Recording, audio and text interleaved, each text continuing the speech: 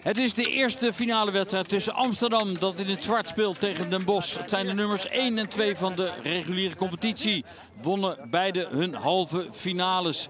Dit is Robert Tiggers, de coach van Amsterdam. En hier Raoul Ere, coach van Den Bosch, die afscheid neemt na 12 seizoenen.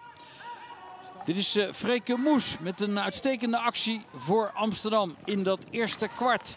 Gaat goed naar haar backhand, goed de cirkel in. En dan met haar backhand de schot op goal. Die wordt gered door Josine Koning in het doel van Den Bosch. Prima actie van deze Freke Moes, overgekomen van Oranje-Rood. Hier nog een keer die actie van deze aanvalster van Amsterdam. Dat Marijn Veen moet missen en natuurlijk ook Eva de Goede. Bij Den Bosch ontbreekt hier een van de Assem. Die krijgen dan een strafcorner. Dan is het uh, Frederike Matla met de push. Goede redding van kiepster Anne Veenendaal. Het was de tweede strafcorner voor Den Bosch. De eerste werd te hoog gepusht door Frederike Matla. En deze werd uitstekend onschadelijk gemaakt door Anne Veenendaal. Samen met Josine Koning, de twee kiepsters van het Nederlands elftal. Die allebei naar de Olympische Spelen in Tokio gaan. Dit is de 20e minuut. Goede actie van Frederike Matla. Na een lange paas van achteruit van Rosa Vernig.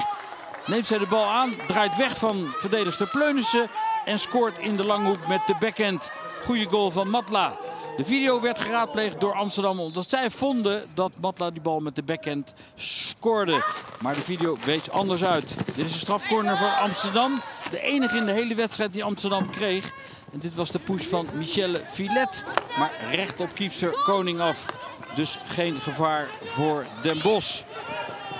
Het zijn beelden uit de tweede helft. Hier vijf minuten geel. Straf voor Liedewij Welte. Gegeven door scheidsrechter Kraaienveld. Iets te hard ingegaan van Liedewij Welte op Laurens Stam.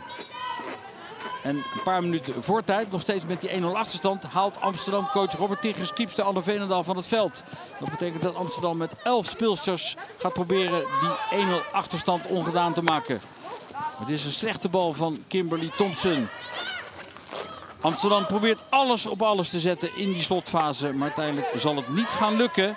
En uh, gaat Den Bosch deze eerste wedstrijd in de finale over de streep trekken. Zaterdag de tweede in de Best of Three serie. Maar Den Bosch leidt de serie met 1-0.